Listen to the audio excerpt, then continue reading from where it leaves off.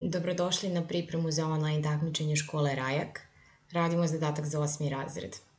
On glasi ovako. Produžeci krakova AD i BC trapeza ABCD se seku u tački S. Ako su produžeci DS jednako 15 cm i CS jednako 12 cm i važi AS jednako 18 cm, odrediti dužinu kraka BC. Najpre je potrebno da skiciramo ovu situaciju koja je navedena, dakle trapez sa produžecima krakova. Ovde sam ja odradila neku skicu, e, dat je dakle trapez ABCD i kaže produžeci krakova AD i BC trapeza se seku u tački S. Dakle, produžetak kraka AD i produžetak kraka BC se seku u tački S. Ok. Ako su produžeci DS 15 cm, DS je 15 cm, evo to smo ovde označili, i CS je 12 cm, to smo ovde označili, i imamo da je AS 18 cm, dakle sve ovo ovde je 18 cm, to smo ovde napisali.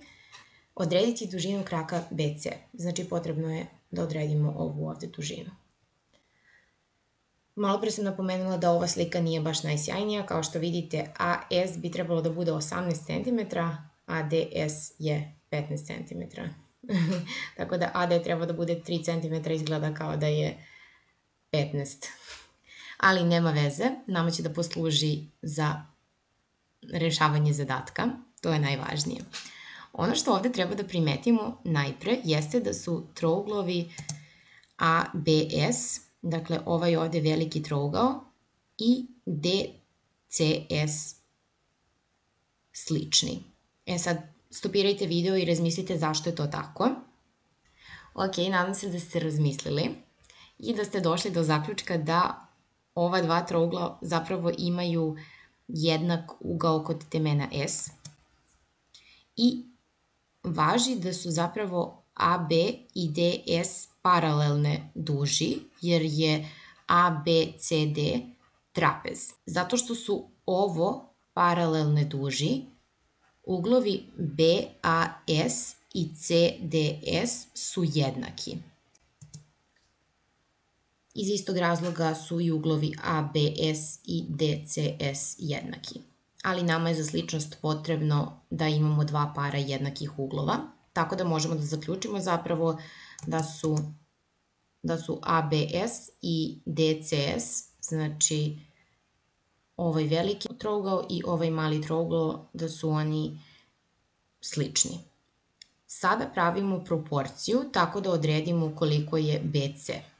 Naspram ugla B, u velikom trouglu je stranica AS, i naspram ugla C u malom trouglu je stranica DS.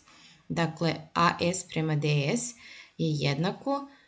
Sada u velikom trouglu naspram A je BS i u malom trouglu naspram ugla kod D je zapravo CS. Tako da imamo ovu ovde proporciju i zamenit ćemo ono što nam je dato imamo da je 18 prema 15 jednako bs prema 12.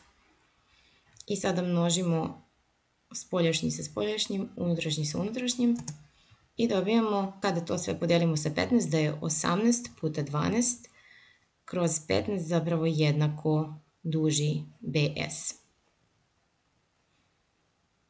Kako ovo računamo? Stopirajte ovaj video i pokušajte ovo sami da. Ono što bi bilo pogrešno da uradimo jeste da odmah krenemo da računamo 18 puta 12, jer je to jako nezgodno za računanje, pa onda sve to da delimo sa 15, već treba da se setimo da je moguće da zapravo i brojilac i imenilac podelimo sa 3. I onda imamo 12 podeljeno sa 3 je 4 i 15 podeljeno sa 3 je 5. Tako da smo zapravo od ovog nekog komplikovanog E, broja 18 puta 12 dobili 18 puta 4 i to lakše malo sračunamo. Dobijamo da je 18 puta 4 72 sa, um, ovdje imamo sa 5, ostaje to sa 5. i želimo da izračunamo koliko je ovo, ali kao decimalni broj. Pa proširit ćemo i brojilac i imenilac sa 2, da bismo u imeniocu dobili 10, kako bismo prosto lako izračunali taj decimalni broj.